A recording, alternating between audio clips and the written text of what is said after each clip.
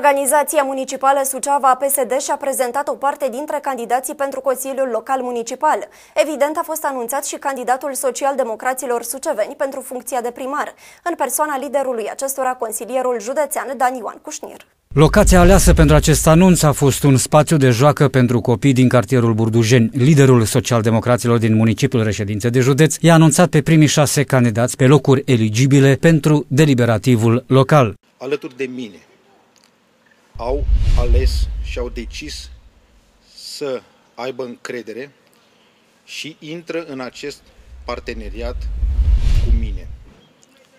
Oameni valoroși pe care sperăm să-i regăsim în viitorul Consiliu Local al Sucevei. Andrei Gheață, născut în Burdujeni, a făcut școala în Burdujeni, locuiește în Burdujeni, în Cuza 2, este antreprenor și va trăi în continuare în Burdujeni.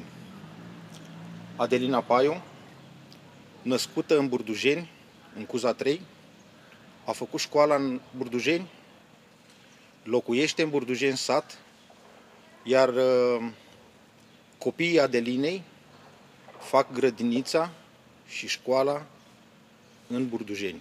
Acești oameni faini au crescut, trăiesc și vor trăi în continuare în Burdujeni.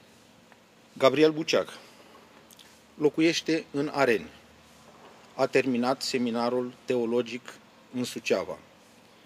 A fost președintele tineretului PSD, a fost consilier local în mandatul 2016-2020 și este antreprenor. Sorin Gălățeanu, născut în Burdujeni, soția lui Sorin este din Burdujeni și este directorul școlii gimnaziale din Salcea. Vali Gerasim locuiește de 46 de ani în George Enescu. Este vicepreședintele Clubului Sportiv Municipal Suceava, a antrenat mii de copii care au adus în Suceava sute de premii naționale și internaționale.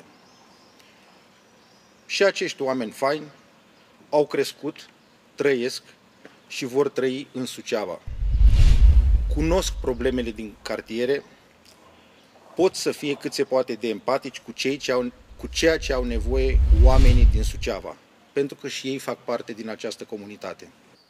Nu promit nimic, dar propun un parteneriat între administrație și suceveni, parteneriat care să aibă un, un singur obiectiv, reclădirea Sucevei mărețe. Președintele Organizației Municipale Suceava, PSD, Dan Ioan Cușnir, a mai subliniat faptul că în perioada următoare vor fi prezentați și ceilalți candidați pentru Consiliul Local în același mod în locații din toate cartierele municipiului reședință de județ.